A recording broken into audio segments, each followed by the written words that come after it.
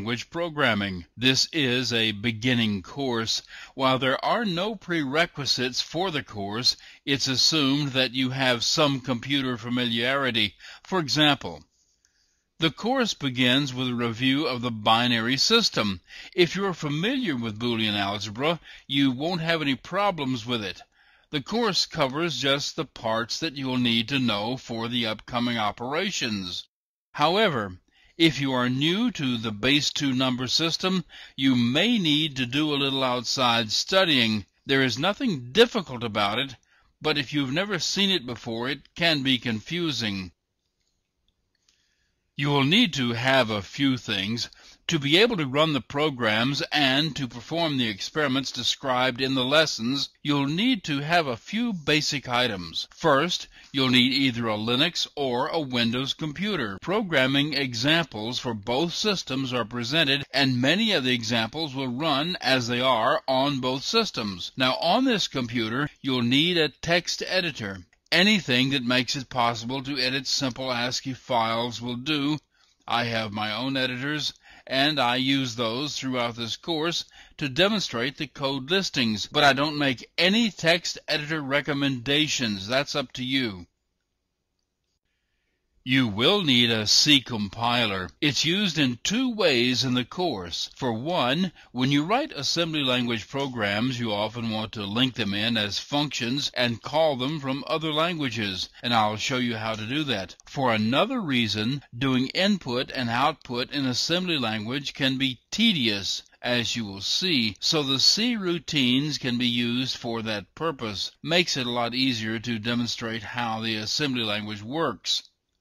You will need an internet connection to be able to download and install the assembler used in the course, and finally, you will need patience. Assembly language programming is not something that happens fast. It takes time. Even to do the simplest chores, it takes time.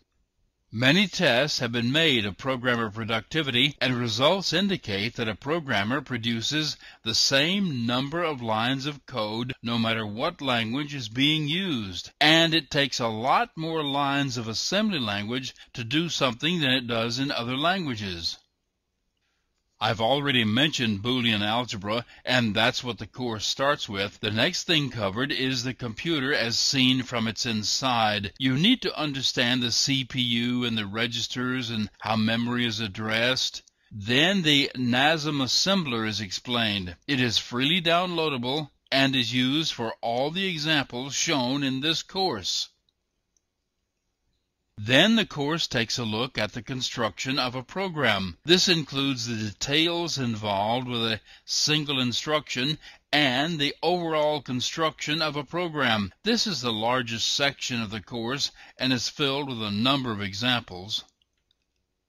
Macros began with assembly language. In a way, assembly language macros were the predecessors to higher level languages. Macros come in handy in hundreds of ways. They're a very important part of assembly language programming. Boolean algebra is visited again, but this time from the viewpoint of a Boolean operation performed by the CPU. Assembly language functions and function calls are very important. One of the most useful things you can do with assembly language is to write functions. Aggregate data includes arrays and data blocks structures. This includes addressing C structs and C bit fields. Floating point numbers work entirely different than integers do in assembly language. There are other assemblers, there are debuggers and utilities and so on. This last section is a review of them. Those are the highlights of the course, but there are other details included here and there. The course is aimed at someone who already is a programmer but wants to be able to program in assembly language. So there is nothing about programming or methodology or style or anything other than the mechanics of assembly language. You don't need to know anything about programming to take the course, but the better you are at programming, the easier this